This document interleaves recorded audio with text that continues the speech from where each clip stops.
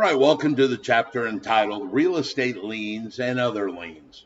This is the continuation or the second part of something we started earlier where we talked about the encumbrance on a property. And at that time, I told you there was an encumbrance, and one of them was called an encumbrance, kind of like New York, New York. It was also called a non monetary lien because there is no money associated with it like an easement or a license. Those are encumbrances that are non monetary.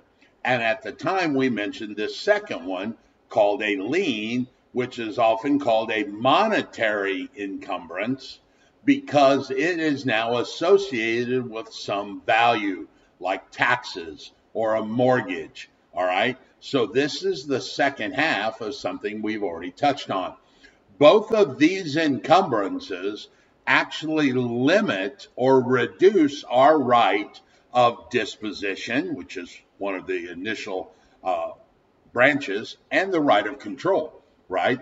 If I had a shared driveway and I wanted to put a fence around the entire property, I couldn't do that because it would be blocking the neighbor's access to their property through that shared encumbrance so it has reduced my right of control. Well, a lien can also reduce your right of disposition.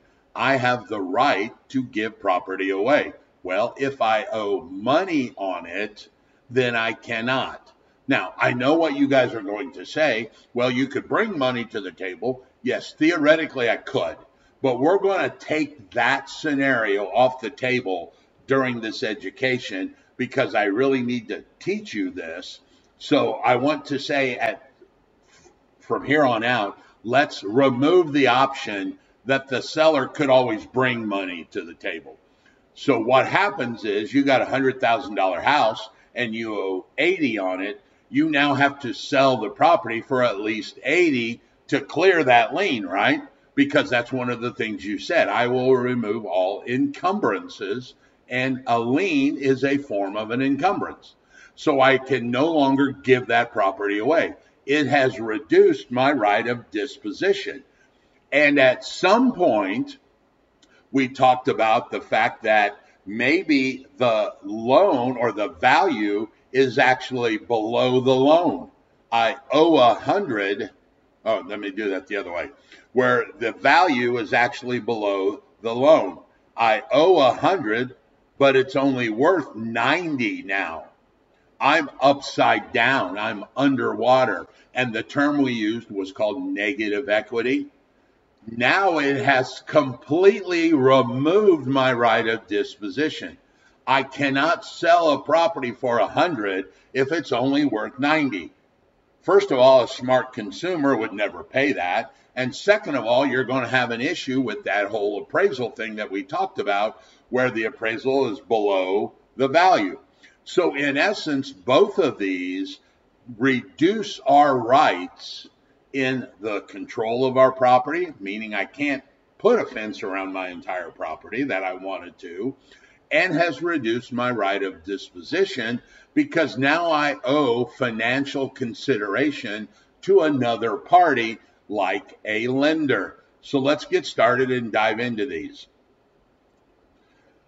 So what you see is this fact that a lien is a charge or a claim against a property to enforce the payment of money. It is called a monetary encumbrance, whereas the other thing, the encumbrance, is a non-monetary. So an encumbrance is a charge or a claim attached to real property including both the lien and the non monetary, which is an encumbrance. Okay. It lessens the value because it has reduced those rights that we just mentioned. Now, when it comes to liens, let's flip over and look at something. Now, this used to be a drawing that was actually in the book several versions ago, and they have gone away from it. So I wanted to redraw this. So what you have is this thing called a lien right here. This lien is this monetary encumbrance. and it comes in a specific form, meaning it is specific to one type of property or one piece of property.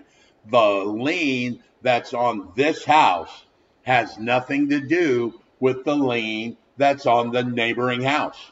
Those liens are specific to that one piece of property. As and that specific lien is either acquired voluntarily, meaning I chose to get that lien, or it can be imposed upon me involuntarily, and that would be something like real estate taxes. Now, because there is a monetary value, because it's a lien, that monetary value is determined in one of two types of ways either statutory, and what do, does statutory mean? There is a law, or it's equitable, meaning money, meaning what's fair, meaning it's based on some amount of money. The involuntary one that's placed upon you gets its value from statutory, meaning a law, or some equitable value. Now, the general lien that we're going to get to is always and always and always only involuntary, meaning someone does it to you. And the value that it is determined is either through some statutory law or some equitable number. So, what I want you to see is this balance here. Now that you have seen this, I actually want to change it a little bit. And I wrote it this way so that you could see the balance between equitable and statutory, equitable and statutory, equitable and statutory. Now, the one thing I want to tell you is this that at no time is there such thing as a statutory or a law that is voluntary. Right? You understand that. Everybody try and think of it. There is no law in the world that's voluntary. So when it comes to a voluntary specific lien, they are always and only equitable. I drew it originally just so you could see the easy ways to memorize it because it's all of them. And then your logic should tell you there is no such thing as a voluntary law. So when it comes to something that is voluntary specific, it is always equitable. Can you think of an example? Yes. The most common example is your mortgage. It's based on the amount of value, so it's equitable. It's voluntary because you chose to do it. There is no law that says you had to get a mortgage. You could have bought it cash. You just chose to get a loan. It's specific because it only deals with this property. This loan has nothing to do with my other loan in my other county. And it is a lien, meaning a charge or a claim held out against some amount of money. So a mortgage is a equitable, voluntary, specific lien.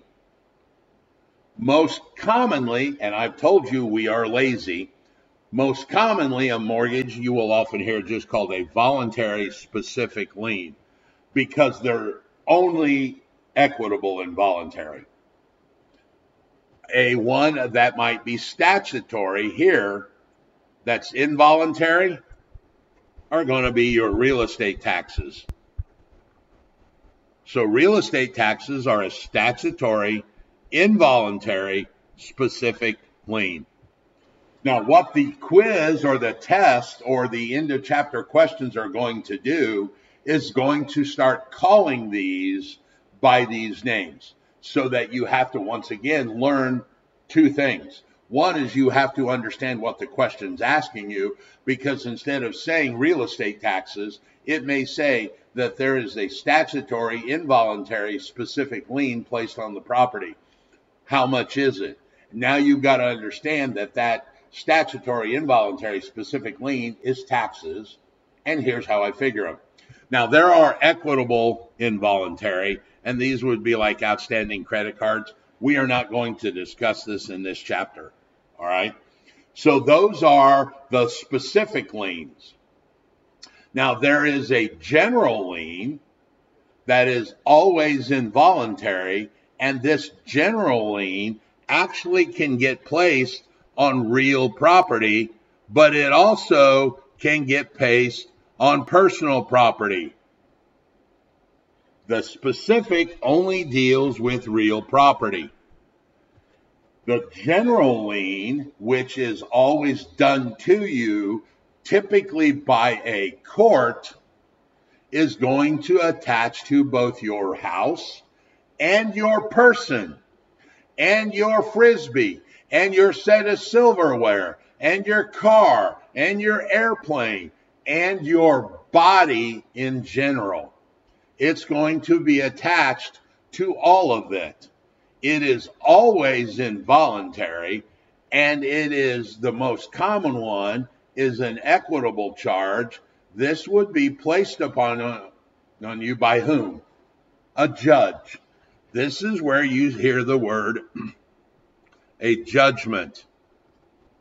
And a judgment is an equitable, involuntary general lien.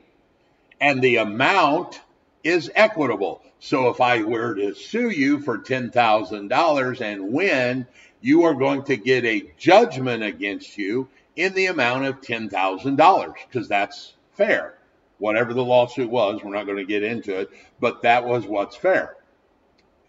There is a statutory, this is going to be like the inheritance tax.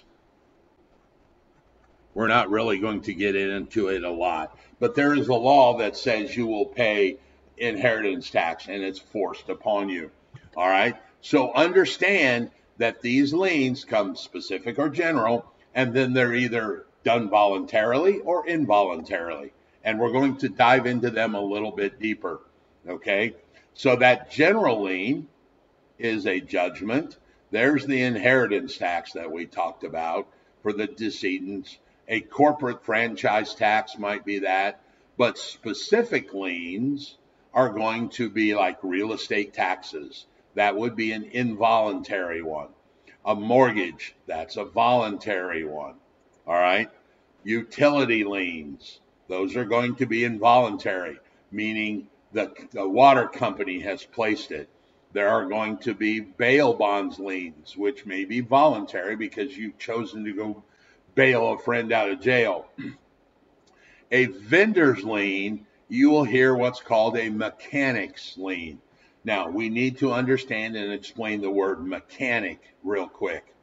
A mechanic is not like a car mechanic. That is just one type. A mechanic in the legal world is anybody that has improved your property. So, like a roofing company could file a mechanic's lien. Lawn care could file a mechanic's lien. A carpenter that's worked on your house could file a mechanic's lien because they are all a vendor. They have all provided a service to your property to fix the furnace or to put a new roof on or to spray chemicals. Those can all be mechanics, and those would all end up as a vendor's lien that we're going to talk about. Now, we mentioned that the effect of these could be that some of these encumbrances run with the property, while some liens attach to the personal property. Okay? Liens will bind successive owners until that lien is paid off. That's what we're talking about. If I sold you a house subject to, remember, the mortgage stays in place, that lien would run with the land, and you are now required to pay it. Now, the mortgage company is going to have a clause in there that says, hey, called the acceleration or the alienation or both of them. But these uh, encumbrances run with the land until they are paid off. And if you think about that general warranty deed, the second thing we promised was covenant against encumbrances, which says, I will pay off all of these liens that are out there.